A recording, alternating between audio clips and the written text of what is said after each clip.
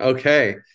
GMGM, welcome to the October Common Stack review. And boy, do we have a lot go- to talk about. Uh, first off, Retro PGF3 is on and we are in it. Retro PGF2 was so huge for the common stack. It really kept us alive during this bear market. And uh, because of that influence, we decided to go all in into optimism. And we have spent the entire quarter, uh, really basically since uh, since Retro PGF2 working in the optimism space. Uh, we have uh, really planted our flag there and on we brought aragon over so now you can deploy the old aragon daos into on optimism uh, because we helped make that happen and then also, anyone can now deploy an augmented bonding curve on Optimism, which Tam will talk more about soon. So that's the the biggest highlight, of course, of November. We're so excited for Retro PGF three to start. Uh, but we also had an epic QF round. Thank you for all the support. Giveth is running QF rounds now, and so we jumped in there and we were able to do. We had a very successful round. Uh, we had 38 contributors, uh, raised $275, and are likely to get a couple thousand dollars in matching. So thank you so much for everyone who supported us in Giveth. And with that, I'll just pass it over to you, Tam. Cool. Thanks. Uh, and like Griff said, we are super grateful to Aragon for their generous grants to bring augmented bonding curves and the Aragon tooling to Optimism. I'm going to share my screen now. And so uh, we have an MVP of the ABC launch and ABC swap to share. Uh, we have a final uh, push to production that'll happen on Monday, but you can already launch a new DAO with an augmented bonding curve and swap those tokens. It's a completely no code solution. So anyone can, and I could even walk you through launching a DAO. I'll call it um, common stack, the common stack DAO. We can set the voting parameters. So 15% and 15 will leave. We'll make it a one day duration. We'll call it common stack enter a token address. Uh, all right. Never sure what you're going to do with demos, and we'll create a hundred. Um, we will set the reserve to be DAI, but you could set the reserve to be Optimism, USDT, USDC Give. I think we added ETH uh, as well for the um, for the push that's going out on Monday you change the tributes and it is just the easiest thing to finally be able to launch an augmented bonding curve without having a full-time developer have to uh, have to edit smart contracts for you. And the second signature, and it's live. It's so super easy to do. So we're really excited. We hope people um, start to use it. It is an MVP. We started looking at uh, future releases. Uh, Griff and I and Livia started talking about what this product looks like and what really the problem pain points are that it solves. Not having technical skills to launch an augmented bonding curve, but knowing a lot of the use cases for it. Um, launching a token with no liquidity, of course, augmented bonding curves solves that and um, you know giving investors and founders a way to exit after they join an initial investment. So we're busy working on the um, the version the next version the next releases and we're planning to uh, have a new release somewhere around january 2024 uh, so if you're in Lisbon and you want to talk more about augmented bonding curves, I'm talking at um, the Ethereum Block Summit uh, which is hosted by the Block Lisboa. It's a OG crypto hub and co-working space here in Lisbon. Uh, come talk to me next Wednesday, the 8th. And I'll pass to Livia to give us some TEC updates.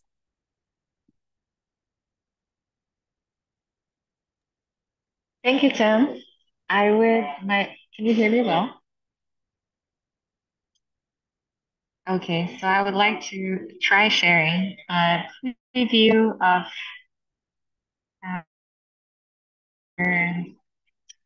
stakeholder study. Um, can you see it? Yep, we see okay. it. I love it. Okay. It looks beautiful. So this is very much just a uh, we we you know fresh. We just started. There's a lot of this content that is getting um subtracted from here. so this looks huge right now, but it's not going to be this big. So it's just to share like our progress and how this is looking so far.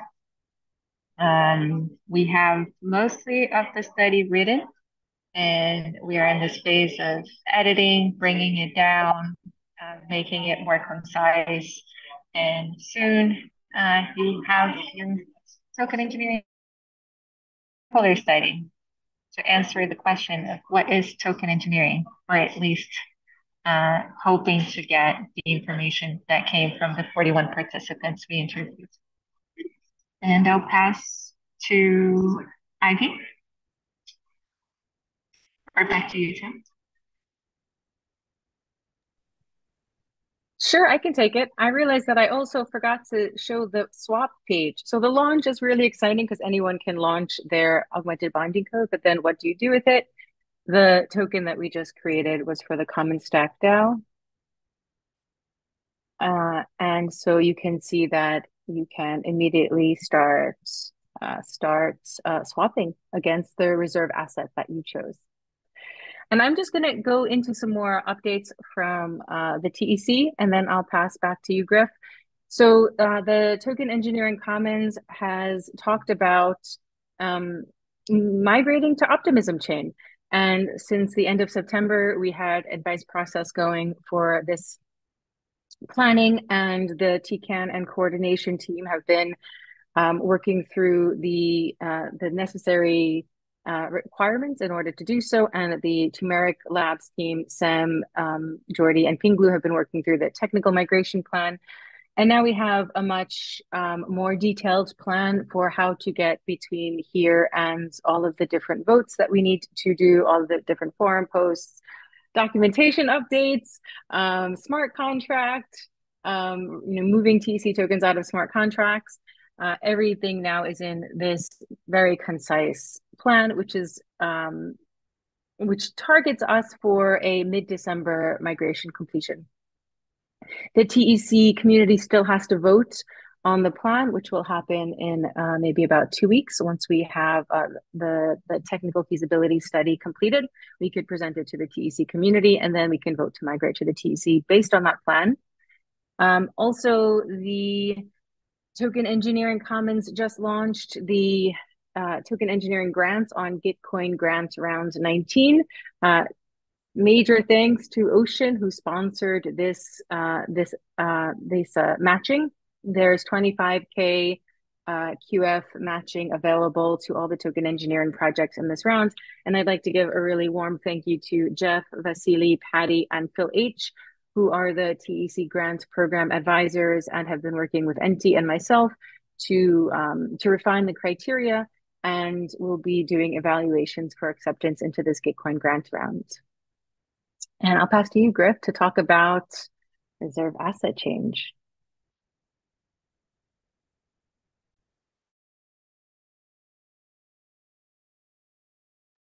This is a big one. This is a big one. So part of the TEC migrating to optimism, uh, we have an opportunity to easily change a reserve. And actually, uh, in in we will we will the TEC will be one of the first big users of the work that we have deployed on optimism and we're debating hey what what should the reserve asset be right now it's xdai and um, it could be a stakes DAI derivative uh, where it's earning interest or uh, we could go full on acceptance of the four year pattern and pray that we are entering bull market soon and peg the TC token to ETH by collateralizing uh, the the TEC's reserve currency, making the TC's reserve currency some kind of ETH derivative.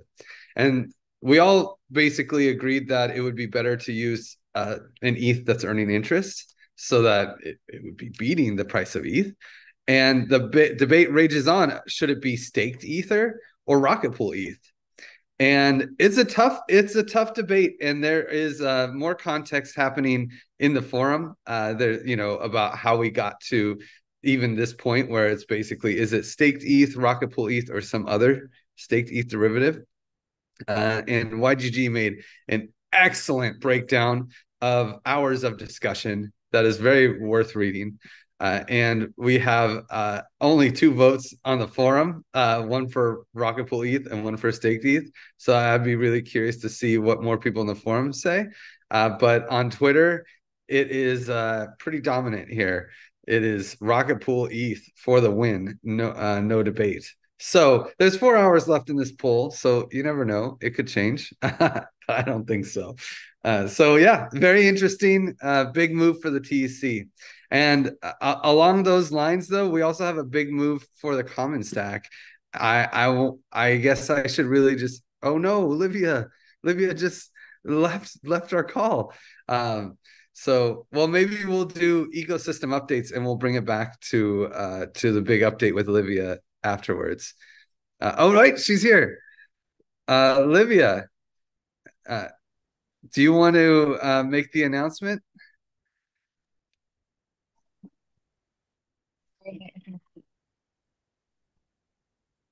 Um, yeah, I'm very emotional to say that I am resigning from Common Stack, but that I will remain as an advisor and to share my immense gratitude to this team and to everything I learned here, and that I hope I will digest all these learnings and understand what are my next steps that still um, feel unknown and that I'm deeply committed to the work that happens here and that I hope I can continue to contribute in other ways.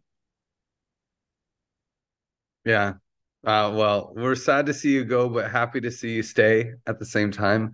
Uh, the you know common stack has been sticky. Jeff still uh, has uh, still gives presentations for the Common Stack and and is a, a, trusted advisor.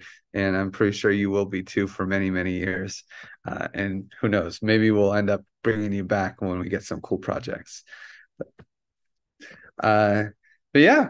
So, well, let's all give our love to Livia on her next journey in the crypto sphere or outside of the crypto sphere. We'll see uh, what happens, but we'll, I'm sure we'll be seeing you around uh, yeah, and with that, maybe I'll pass it over to Tam to give some ecosystem updates.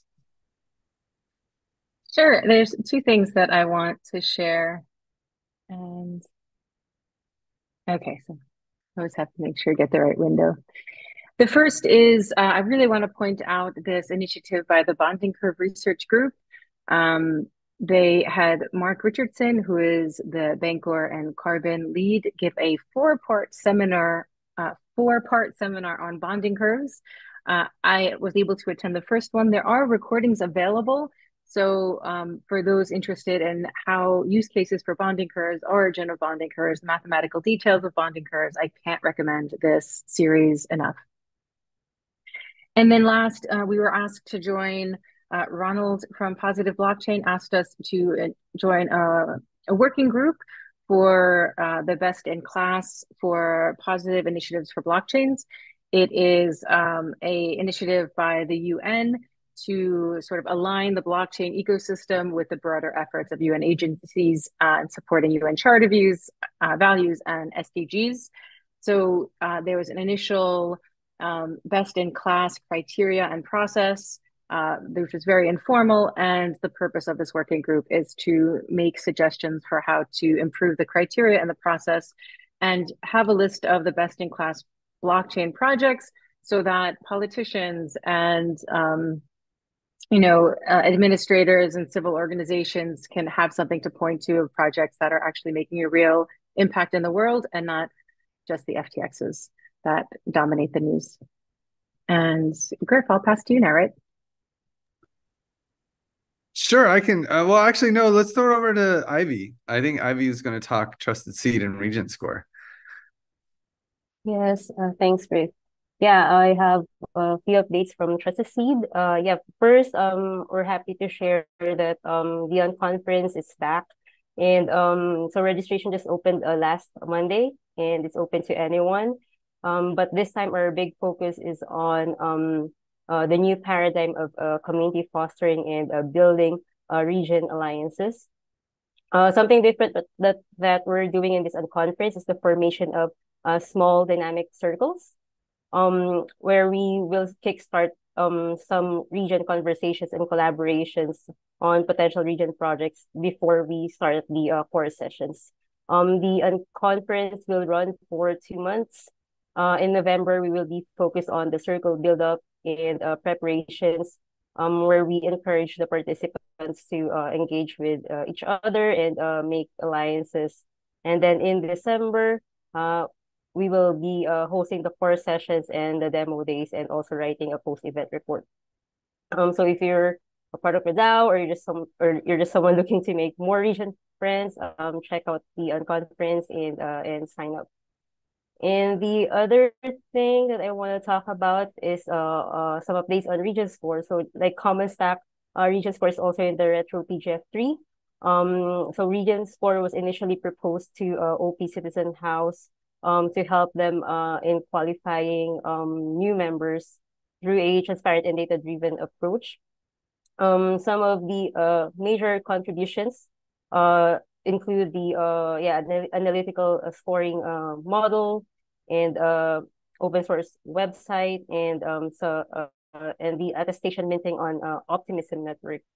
Um, when it comes to uh uh to its impact, um yeah, we're happy to say to, to report that we've identified some uh, potential candidates for the Citizen House uh, because um some of the scores of attested uh, attested attested users are um uh, comparable to uh, current OP delegates. So um any funding we'll potentially receive from the optimism community will um uh, allow us to add more uh, features and refine our uh, scoring uh model. So we're calling all Retro PGF badge holders to uh yeah include us in your uh, voted project. Uh, and then just a few more updates on Regen Score. Um, when you mint your attestation, you can now share it on Twitter. And also, uh, Trusted Seed is considering in uh is exploring uh to integrate uh Regen Score in the uh in the in our matchmaking program and in also in the uh membership uh process. So I'll share more updates on that when there are more uh definite details. So that's all from me, and I'm passing it back to Griff for other ecosystem updates. Yeah, and as you know, there's a lot going on in the Giveth galaxy, which Common Stack is definitely a major planet of. Uh, so, uh, yeah, first off, ENS Small Grants was huge for Giveth. Uh, they got first place, which is five Ether, which is epic. Uh, also, Pairwise, Metagame Bright ID, Unitap, uh, and you know, all made it. It's very cool, very good to see. Uh, and Common Stack didn't make it. We were close, but uh, but didn't quite couldn't quite get over over past it. Another big funding stream for public goods groups in in uh, in in our ecosystem was Octant. Uh, Giveth was able to score 13.8 ETH, and so was uh, and also Praise and uh, uh, Pairwise both also were able to uh, rack in some some money w- along with Glo Dollar, and the big winners were of course Rotki and Protocol Guild. Uh, but it's good to see like Tor make it in there, and some other like and Onion Down, like eh, just interesting projects making it in uh, these crypto first uh, kind of public goods funding streams. Another update: uh, Praise has a lot of action these days in Developer DAO which is really interesting. Uh, you know, usually it's Giveth, General Magic, and TEC really top in the charts here, but it's great to see Developer DAO and Optimism and DAppNode really start to uh, go in for praise as well as uh, some new new projects. So lots of people are starting to use praise. It's really exciting, and uh, it's it's cool to see this growth. Uh, also giveth and general magic and and really giveth galaxy is going to have a huge event in Turkey, uh, renting out a hotel and having a few days, calling a Give Connect. There will be uh, basically a, a three day unconference and some team outings and and all of that the week before Dev Connect. So definitely if you are in the area and you want to participate it's totally cool. You can drop in and uh, it's going to be mostly internal giveth galaxy things but you know we're a public goods project and very open. So if you happen to be in istanbul and you want to just see the inner workings of giveth you are totally welcome to join our our uh, unconference. Also uh, in the ecosystem uh, the whole giveth galaxy has really like uh, planted the flag along with the common stack in the in the optimism ecosystem. There's no uh, l2 that's more aligned with with what we're trying to do with impact equals profit than optimism. And so uh, the general magic and giveth have uh, joined forces to actually create a retro pgf community. So definitely follow them on twitter. Is the best place to get updates on optimism cool memes and what's going on in retro pgf so this is the spot for sure uh, we're also creating in a really epic voting tool for if you're a badge holder, uh, then you can use this tool to actually create lists and organize your lists for all the optimism. We uh, Pairwise has uh, kind of created different categories to make it easier for people to compare individuals or groups that are in the developer ecosystem and maybe you want to um, see the different you know you then we made little subgroups and you can come in here and instead of trying to figure out how much goes to who uh, we make you uh, in one big long thing you can kind of just say well gravity dao or optimism guide? Which one which one had more impact on optimism right uh, and if you don't know, you can uh, you don't know what these are. Of course, you need to do some uh, more reading up on them. We are importing all of the data that that is in the um, project's descriptions right here, so you can read them right there, and you can really understand who is better, who is worse. Uh, and at the end here, I'm going to just click through. But at the end, you can get to the uh, the last page and actually uh, edit your submission. And what's really interesting with Pairwise, in my opinion, is that when you submit the list, you end up um, you end up um, creating a list that is set for these 20-ish projects. And I create that list, Tam will create that list, Mitch will create that list, Breechies will create that list, and then everyone can kind of choose who to import from that list. Who do they want to judge those 25 projects? And it'll be a really nice delegation system. So Pairwise is really exciting for all the projects up there. And just a really quick rehash of which projects in the Giveth Galaxy are out there. We have the Giveth House. Uh, many of you have probably stayed at the Giveth House, so don't miss them if you're a badge holder. Giveth, of course, uh, and we have uh, Kai Gele Royale, uh, who made the bridge bot between Discord and Telegram uh, that many badge holders use. We have public goods grant uh, management by GM, uh, a weekly call that helps people navigate the optimism uh, grants system. And of course, we have us, the Common Stack. Don't want to miss them. We also have TEC, uh, is is representing there. Soon we'll be migrating to Optimism. Uh, who's uh, who's been uh, a powerhouse in the Optimism community and uh, helping the Giveth Galaxy as well navigate uh, the chaos that is Optimism.